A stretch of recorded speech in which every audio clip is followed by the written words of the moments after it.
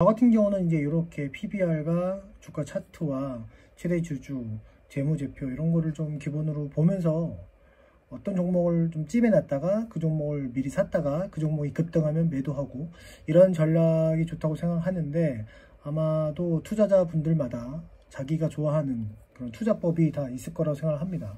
그런 투자법을 한번 해보고 그게 잘 된다 그러면 그거를 계속 이제 써먹으면 되는 거죠. 동일 제강. 좀 동일 제강이 그러니까 원일 특강도 마찬가지고 원일 특강은 박영옥 슈퍼개미 박영옥 님이 들어오신 종목인데 박영옥 이분이 쉽게 매도하는 분은 또 아니라서 아마 이런 종목도 나쁘지 않을 것 같고요. 원일 특강 그리고 동일 제강 동일 제강 같은 경우에는 5월 4일날 한 7% 가까이 빠졌었었나 제 기억엔 한 7% 빠져서 에휴 에휴 존버해야지 저는 이런 생각을 하고 있었는데 어, 종가에는 다시 회복을 하더라고요. 그래서 조금 깜짝 놀랐습니다. 그러니까 이 종목이 좋은 게 이렇게 올랐다가 웬만하면 사실 이렇게 주가가 빠지는 게 정상이에요. 이렇게 오른 상태에서 주가가 질질 흘러내리면서 빠졌다가 다시 가는 게 정상인데 이렇게 오른 상태에서 이 가격을 지지를 했다. 심지어 종가 기준으로 올라섰다라고 한다는 것은 어, 매수세가 있다는 얘기죠 예, 누군가 저희들보다 돈도 많고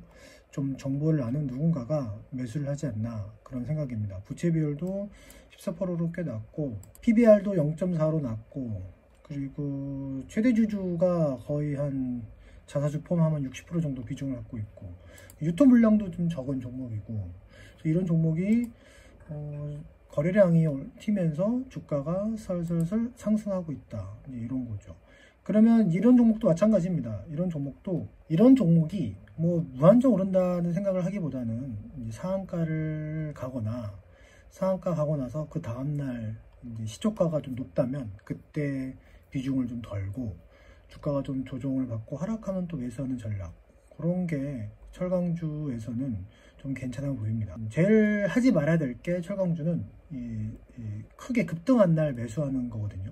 그 매수한 것만 잘 참고 걔가 좀 조정을 받고 주가가 좀 하락 내릴 때 눌림목 매매를 하는 게 가장 조, 가장 좋지 않나 예, 그런 생각입니다. 사실 이거는 투자보다는 그 트레이딩에 가깝기 때문에 지금 철강주는 이런 시총 작은 철강주들은 일반인 분들이 하기에는 좀 어려울 것 같고요.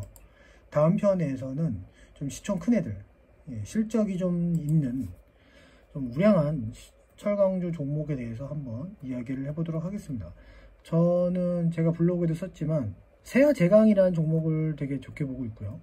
PBR이 0.5 세아 제강을 되게 좋게 보고 있고 세아 제강 지주도 나쁠 것 같지는 않고요. 그리고 뭐 휴스틸도 마찬가지로 어, 괜찮을 것 같고 그 대한제강을 애널리스트 중에 대한제강을 좋게 보는 분도 있더라고요. 뭐 세아베스틀도 마찬가지고요. 예, 그래서 그런 종목을 좀 한번 다음 편에서는 좀 시총 큰 애들을 좀 좋은 종목을 우량한 애들을 한번 얘기를 한번 해보도록 하겠습니다. 아, 그 얘기를 하려면 어, 장기적으로 철강주에 대해서 아마 좋게 보는 이유를 얘기를 해야 될 것 같고 그렇게 된다면 철강주는 우리가 어떤 거 지표를 좀 봐야 되느냐 어떻게 투자를 좀 해야 되느냐 아마 그 부분을 좀 설명을 드리지 않고서는 장기 투자하기는 좀 어려울 것 같네요. 예, 뭐 이런 소형주들이야 어, 장기 투자랑 상관없이 trading 개념으로 접근할 수는 있는데 좀 대형주들은